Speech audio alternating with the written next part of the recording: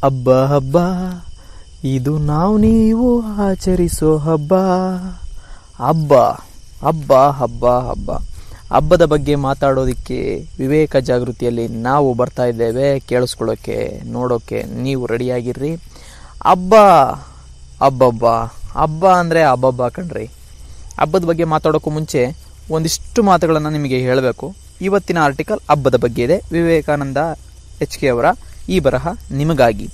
ಸಾವುಗಳು ಸಹಜವಾಗುತ್ತಾ, ಸಂವೇದನೆಗಳು ಸರ್ವನಾಶವಾಗುತ್ತಾ, ಭಾವನೆಗಳು ಬರಿದಾಗುತ್ತಾ, ಮಾತುಗಳು ಕೃತಕವಾಗುತ್ತಾ, ಅಕ್ಷರಗಳು ಅಸಹನೀಯವಾಗುತ್ತಾ, ಮನಸ್ಸುಗಳು ಮಲಿನವಾಗುತ್ತಾ, ಸಂಬಂಧಗಳು ಶಿಥಿಲವಾಗುತ್ತಾ, ಮೌಲ್ಯಗಳು ಮಸುಕಾಗುತ್ತಾ, ಆಡಳಿತ ಅರಾಜಕತೆಯಾಗುತ್ತಾ ಬದುಕು ಬರಡಾಗುತ್ತಾ, ಸಮಾಜ ಅಸ್ತವ್ಯಸ್ತವಾಗುತ್ತಾ, ಪರಿಸರ ಕಲ್ಮಶವಾಗುತ್ತಾ. ವಿದ್ಯೆ ವ್ಯಾಪಾರವಾಗುತ್ತಾ, ವಿವೇಚನೆ ವಿಕಾರವಾಗುತ್ತಾ, ಆರೋಗ್ಯ ಅನಾರೋಗ್ಯವಾಗುತ್ತಾ, ಗಂಡನ್ನು ಅನುಮಾನಿಸುತ್ತಾ, ಹೆಣ್ಣನ್ನು ಅವಮಾನಿಸುತ್ತಾ, ಹಣವನ್ನು ಪೂಜಿಸುತ್ತಾ, ಅಧಿಕಾರವನ್ನು ಆರಾಧಿಸುತ್ತಾ, ಭ್ರಮೆಗಳನ್ನು ಸೃಷ್ಟಿಸುತ್ತಾ, ಅಮಾಯಕರನ್ನು ಶೋಷಿಸುತ್ತಾ, ಅಸಹಾಯಕರನ್ನು ವಂಚಿಸುತ್ತಾ, ಭ್ರಷ್ಟರನ್ನು ಚುನಾಯಿಸುತ್ತಾ, ವಿಧಿಯನ್ನು ಅಳಿಯುತ್ತಾ. ಕಾಣದ ಶಕ್ತಿಯನ್ನು ನಂಬುತ್ತಾ, ಆತ್ಮಶಕ್ತಿಯನ್ನು ನಿರ್ಲಕ್ಷಿಸುತ್ತಾ, ಆತ್ಮವಂಚನೆಗೆ ಬಲಿಯಾಗುತ್ತಾ, ಆಡಂಬರಕ್ಕೆ ಆಕರ್ಷಿತವಾಗುತ್ತಾ, ಪ್ರೀತಿಗೆ ಹಂಬಲಿಸುತ್ತಾ, ದ್ವೇಷಕ್ಕೆ ಬಲಿಯಾಗುತ್ತಾ, ಒಳ್ಳೆಯದನ್ನು ಹುಡುಕುತ್ತಾ, ಕೆಟ್ಟದ್ದನ್ನು ಅನುಸರಿಸುತ್ತಾ ಮುನ್ನಡೆಯುತ್ತಿರುವುದೇ ಆಧುನಿಕ ನಾಗರಿಕ ಸಮಾಜ. ಈ ವಿಚಾರಕ್ಕೂ ಮೊದಲು ಹಬ್ಬ ಅನ್ನೋದ್ರ ಬಗ್ಗೆ ಬರೆದಿದ್ದಾರೆ. ಅದನ್ನು ಹೇಳ್ಬೇಕು ನಿಮಗೆ. ಅದನ್ನು ಈಗ ಹೇಳ್ತೇನೆ. ಹಬ್ಬಗಳೆಂಬ ಸಾಂಸ್ಕೃತಿಕ ಉತ್ಸವಗಳು. ಕಾರಣಗಳು ಏನೇ ಇರಲಿ, ಹಬ್ಬಗಳು ಭಾರತದ ಜನಜೀವನದ ಅವಿಭಾಜ್ಯ ಅಂಗಗಳು. ಬಹುಶಃ ಕ್ಯಾಲೆಂಡರ್ನ ಎಲ್ಲ ದಿನಗಳಲ್ಲೂ ಹಬ್ಬಗಳ ಒಂದು ವೈಶಿಷ್ಟ್ಯ ಉಳಿಸಿಕೊಂಡಿರುವ ದೇಶ ಭಾರತವೇ ಇರಬೇಕು. ಎಲ್ಲ ಹಬ್ಬಗಳಿಗೂ ಒಂದು ಹಿನ್ನೆಲೆ ಇದ್ದೇ ಇರುತ್ತದೆ. ಅದು ಪೌರಾಣಿಕ, ಧಾರ್ಮಿಕ, ಐತಿಹಾಸಿಕ, ಸಾಮಾಜಿಕ ಅಥವಾ ಪ್ರಾಕೃತಿಕ ಅನುಕೂಲಗಳಿಗೆ ತಕ್ಕಂತೆ ರೂಪುಗೊಂಡಿದೆ. ಶಿವರಾತ್ರಿಯಿಂದ ಮಾರಮ್ಮನ ಜಾತ್ರೆಯವರೆಗೆ, ಸಂಕ್ರಾಂತಿಯಿಂದ ದಸರಾವರೆಗೆ ಚಿತ್ರ ವಿಚಿತ್ರ ವೈವಿಧ್ಯಮಯ ಹಬ್ಬಗಳನ್ನು ಆಚರಿಸಲಾಗುತ್ತದೆ. ಪ್ರಾರಂಭದಲ್ಲಿ ಹಬ್ಬಗಳು ಭಕ್ತಿ ಮತ್ತು ನಂಬಿಕೆಯ ಮಹತ್ವ ಪಡೆದಿದ್ದರೆ, ನಂತರದಲ್ಲಿ ಕೌಟುಂಬಿಕ ಸಂಬಂಧಗಳನ್ನು ಬೆಸೆಯುವ ಆಚರಣೆಗಳಾದವು. ಊರಿನ ಜನರ ಐಕ್ಯತೆ ಸಾರುವ ಉತ್ಸವಗಳೂ ಆದವು. ತದನಂತರ ಮನೆಗೆ ಸುಣ್ಣ, ಬಣ್ಣ, ಹೊಸ ಬಟ್ಟೆಗಳ ಸಂಭ್ರಮವೂ ಮುಖ್ಯವಾದವು. ಆಧುನಿಕತೆ ಬೆಳೆದಂತೆ ಮತ್ತಷ್ಟು ಬದಲಾವಣೆಗಳಾದವು.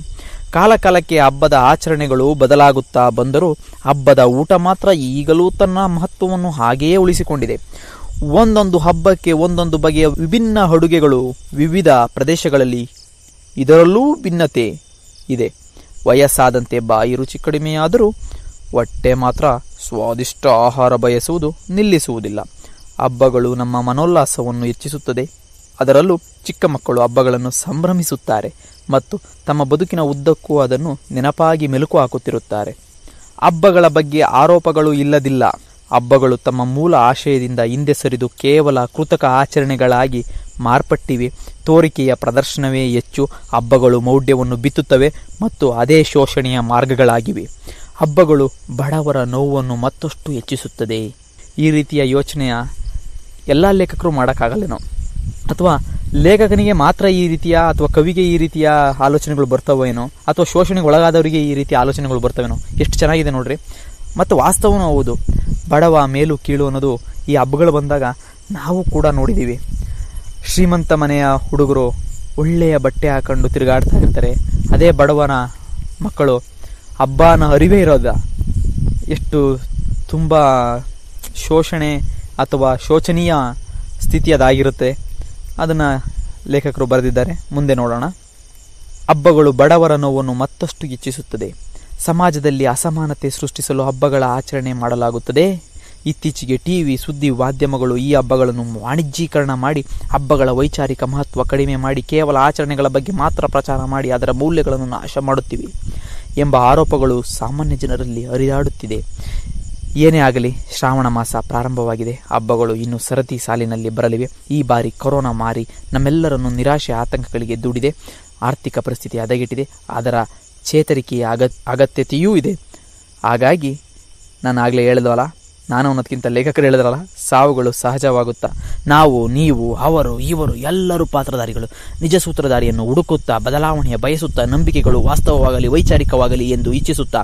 ಇರುವ ಈ ದಿನಗಳಲ್ಲಿ ಹಬ್ಬಗಳು ನಮ್ಮಲ್ಲಿ ಹೊಸ ಚೈತನ್ಯ ಮೂಡಿಸಿ, ಬದುಕಿನ ಭರವಸೆ, ಮುನ್ನುಡಿಯಾಗಲಿ, ಉತ್ತಮ ಮುಂಗಾರಿನ ಕಾರಣದಿಂದ ಲಕ್ಷಾಂತರ ವಲಸಿಗರ ಜೀವನದಲ್ಲಿ ಹೊಸ ಆಸೆ ಹೊಸ ಆಸೆ ಚಿಗುರಲಿ. ಎಲ್ಲರ ದೇಹದಲ್ಲಿ ರೋಗ ನಿರೋಧಕ ಶಕ್ತಿ ಹೆಚ್ಚಾಗಿ ಕೊರೋನಾ ಎಂಬ ರೋಗಾಣು ತನ್ನ ಅಸ್ತಿತ್ವವನ್ನೇ ಕಳೆದುಕೊಳ್ಳಲಿ ಎಂದು ಆಶಿಸುತ್ತಾ, ಹಾರೈಸುತ್ತಾ. ವಿವೇಕಾನಂದ ಎಚ್ ಕೆ ಅವರು. ಎಲ್ಲರಿಗೂ ಹಬ್ಬದ ಶುಭಾಶಯಗಳನ್ನು ಕೋರಿದ್ದಾರೆ. ಪ್ರಬುದ್ಧ ಮನಸ್ಸು, ಪ್ರಬುದ್ಧ ಸಮಾಜ, ಜನರ ಜೀವನ ಮಟ್ಟ ಸುಧಾರಣೆಯ ಗುರಿಯೊಂದಿಗೆ ಮನಸ್ಸುಗಳ ಅಂತರಂಗದ ಚಳುವಳಿ ವಿವೇಕಾನಂದ ಎಚ್ ಕೆ ಧನ್ಯವಾದಗಳು ಸರ್, ಧನ್ಯವಾದಗಳು. ಇಂಥ ಉತ್ತಮವಾದ ಬರಹಗಳಿಗೆ. ಅಕ್ಷರ ಟಿವಿಯಲ್ಲಿ ಇದು ಪ್ರಸಾರವಾಗ್ತಾ ಇದೆ. ಬದಲಾವಣೆ ಪತ್ರಿಕೆಯಲ್ಲೂ ಬರ್ತಾ ಇದೆ. ಸಬ್ಸ್ಕ್ರೈಬ್ ಮಾಡಿ ಮತ್ತು ಇನ್ನಷ್ಟು ಜನಗಳಿಗೆ ಶೇರ್ ಮಾಡಿ.